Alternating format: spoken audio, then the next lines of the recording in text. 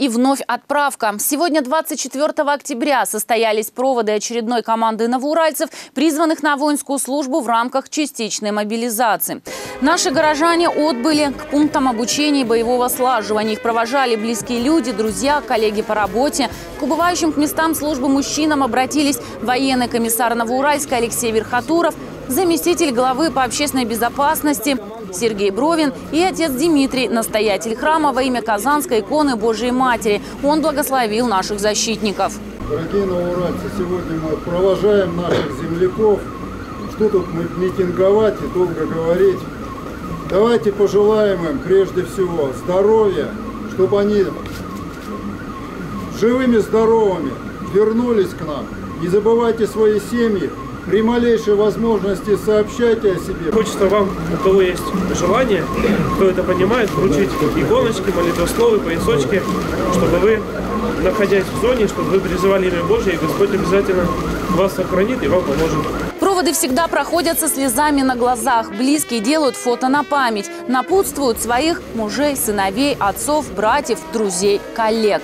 Количество новоуральцев, отправившихся в это непростое время выполнять свой воинский долг, сегодня стало больше. С момента отправки мужчины являются военнослужащими и вносятся в штат Министерства обороны и сегодняшнего дня зачислены на все виды военного довольствия. Все собравшиеся едины в своем порыве. Те, кто пришел проводить мобилизованных новоуральцев, желали им удачи и поскорее вернуться домой, к своим семьям в родной Новоуральск. Весь город ждет их обратно. Все мобилизованные мужчины будут защищать страну, но их семьи, в свою очередь, не останутся без поддержки государства. Гражданам, призванным на военную службу в рамках частичной мобилизации, предоставлена отсрочка по уплате налогов, сборов и страховых взносов, а также продлены сроки предоставления налоговых деклараций, отчетов о движении денежных средств по счетам. Постановление об этом подписал председатель правительства Михаил Мишустин.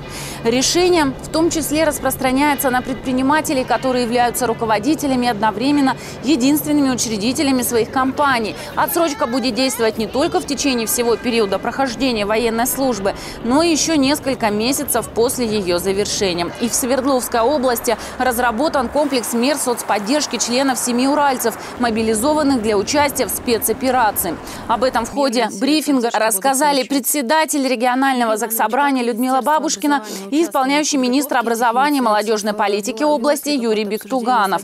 По словам Людмилы Бабушкиной, парламентарии инициировали внесение поправок в действующую статью 33.1 Закона об образовании в Свердловской области. Согласно им, меры поддержки будут распространены на школьников и студентов. Рассмотрение законопроекта запланировано на 25 октября.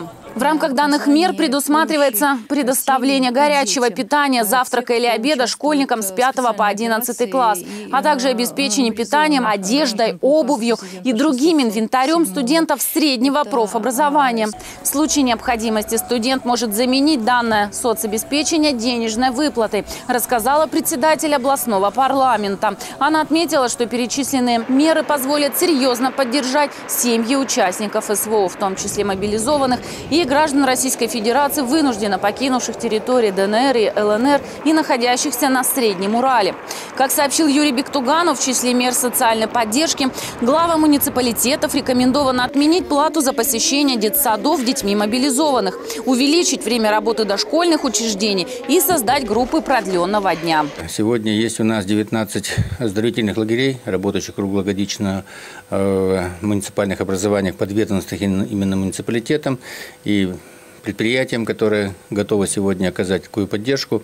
Э, в соответствии с областным законом глава муниципальных образований также выделены финансовые средства на э, проведение оздоровительных мероприятий в каникулярное время для э, наших школьников. И поэтому точно так же мы рекомендуем в первую очередь за счет этих выделенных финансовых средств организовать оздоровление, помощь, поддержку семьям, детям, мобилизованных граждан и участников э, контракт, э, кто по контракту сегодня находится на участке боевых действий, и для тех, кто добровольцами ушли сегодня из Свердловской области.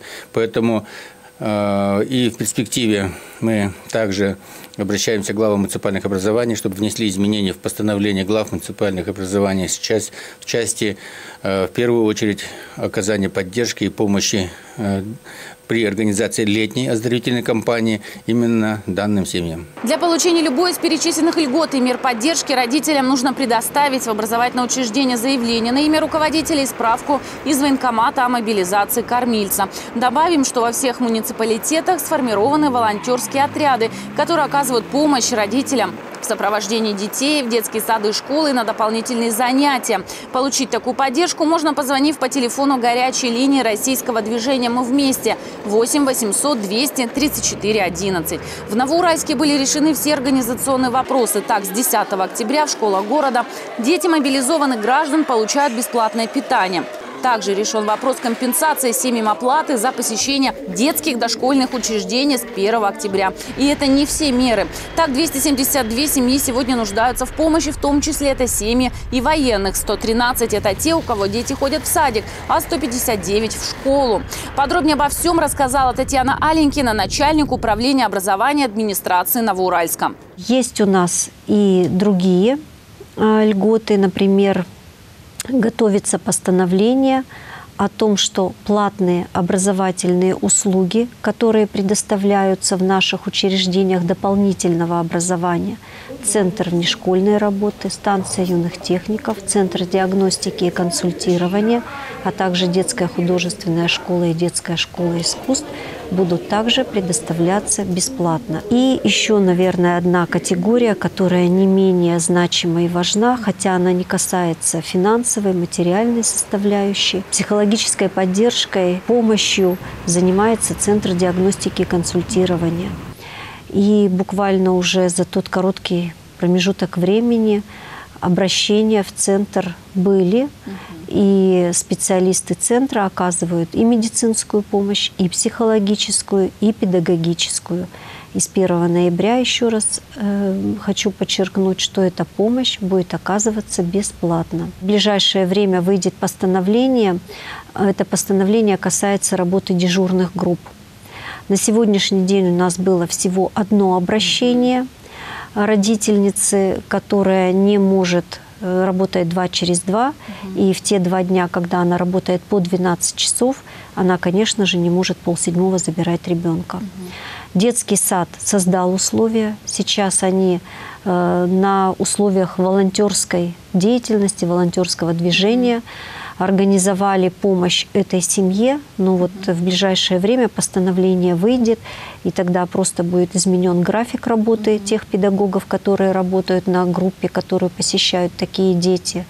И эти группы будут работать э, ну, также там, с полседьмого до до половины девятого или до девяти. Правительством Свердловской области на очередном заседании 20 октября было принято постановление, закрепляющее единовременные денежные выплаты для членов семей участников специальной военной операции, в том числе родным уральцев, призванных в рамках частичной мобилизации.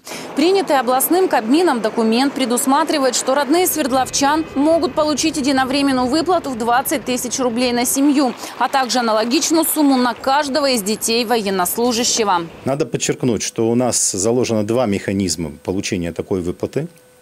Основной механизм – это беззаявительный реестровый.